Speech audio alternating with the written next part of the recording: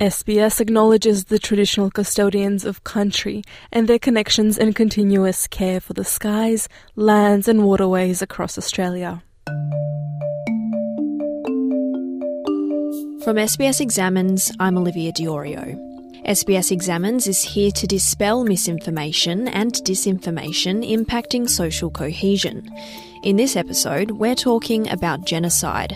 It's a powerful term, so what does it really mean, and who decides when to call a conflict a genocide? I'm interested in genocide because it happened so many times. It happened to the Armenians, and uh, after the Armenians, Hitler took action. That's Raphael Lemkin, the man behind the term genocide. He was a Polish lawyer who coined the term in 1944, taking the Greek prefix genos, meaning race, and the Latin suffix cide, meaning killing. This was partly in response to the Holocaust, but also to previous historical events. And he thought, how is it that one person can be prosecuted and convicted and punished for killing one person, but we don't have the same crime for someone killing hundreds or thousands or even millions of people. President of the International Association of Genocide Scholars, Dr. Melanie O'Brien, says it was because of Lemkin's campaigning that genocide was recognised and made into an international crime in 1948.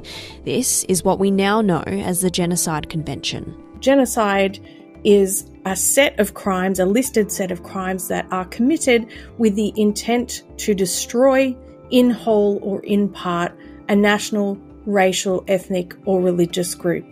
And the particular crimes of genocide include the crime of killing, uh, crimes of causing serious bodily or mental harm, uh, the crimes of transferring children from one group to another, and several other crimes are listed as well. Only countries who have become party to the treaty are obliged to follow it, and out of the 195 recognised countries around the world, 153 are party to it.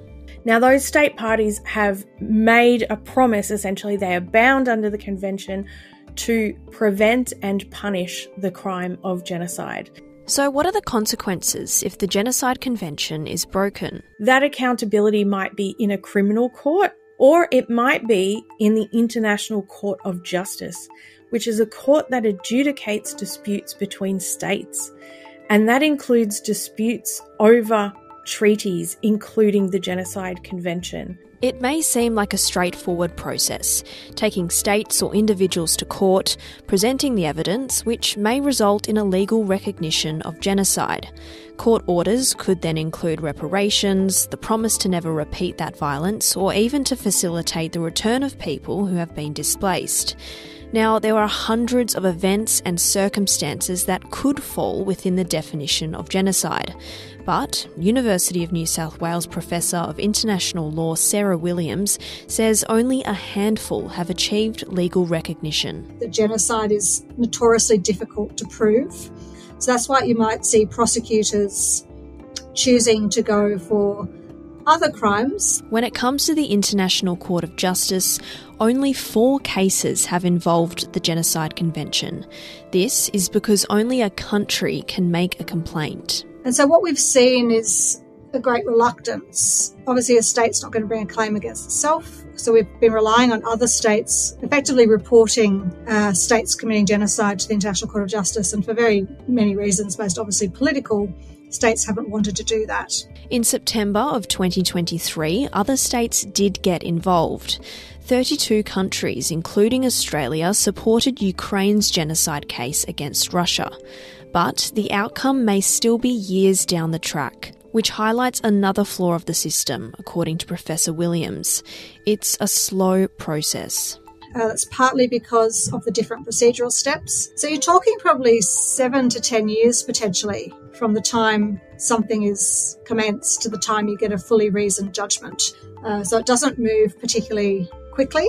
In the meantime, the court can request provisional measures. So, effectively, interim orders that would try and bring an end here to the genocide. But what about individuals? How can someone be held to account for genocide? The ICC looks at individual criminal responsibility, so they're looking at things to the standard of beyond reasonable doubt, in the same way a court would look at a murder charge in Australia, for example. In the 22 years since its establishment, the International Criminal Court has issued only one arrest warrant for genocide. That was back in 2009 for Omar Hassan Ahmad al Bashir, president of the Republic of Sudan during the Darfur genocide. He is still yet to be arrested and brought before the court.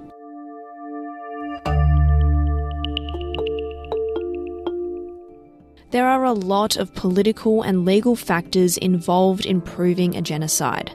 But we see the term used all the time, not just in the context of international law. The word has a, an emotional attachment to it in a way other crimes don't. And I think that's this idea that it's a hierarchy, it's this crime of crimes. I think there are you know, there are different definitions. Professor of Practice in Human Rights and International Law at New York University, Vasuki Nesiah, says genocide can be used as a way to express protest and grief. It's often um, treated as if it should be something that's decided by courts or that the convention is the only reference point for a genocide. But um, in fact, you know, people had, you know, across the world, many different kinds of ways of talking about um, the kinds of mass atrocity that we now use genocide as sort of a singular term to describe. Professor Nesiah says genocide is a powerful word, in part because it's so easily recognized. It becomes a way to translate different experiences of grave abuse into a language that is now a way of talking about it in, in different parts of the world. Professor Nesiah added that the term genocide has been debated since it became an international crime in 1948, but we shouldn't always be confined to strict legal definitions. It's always been contested and there's always been multiple meanings. I think it's important that our own uh, conception of genocide does not start in the middle of the 20th century, but you know, it's a 500 year history. This story was produced and presented by Olivia Diorio. If you want to find out more, visit sbs.com.au slash sbsexamines.